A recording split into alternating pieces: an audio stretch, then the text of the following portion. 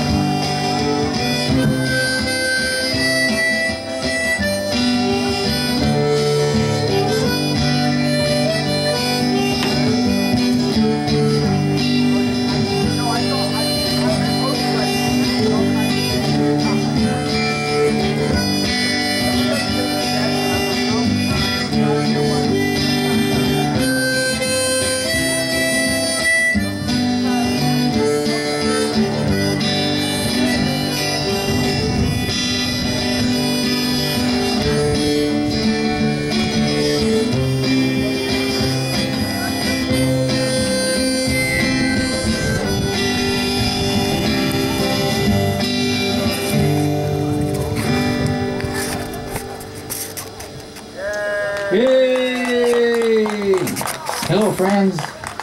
My name is Rich Angell, and I would like to begin with uh, some instrumental music.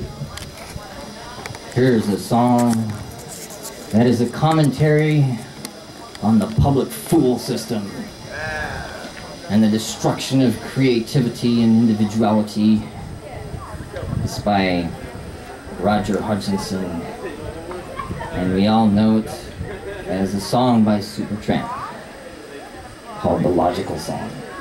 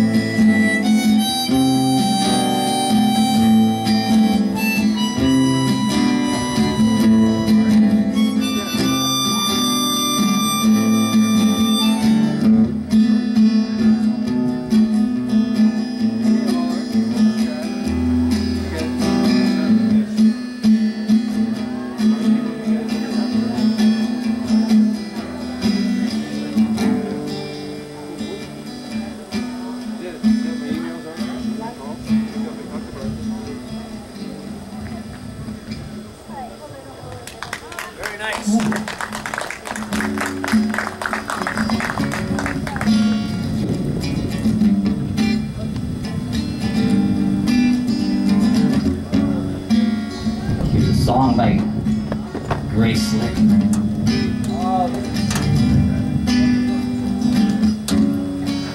That she wrote to illustrate the hypocrisy of teaching children not to take mind-altering drugs. And then turning them on to stories like Alice in Wonderland.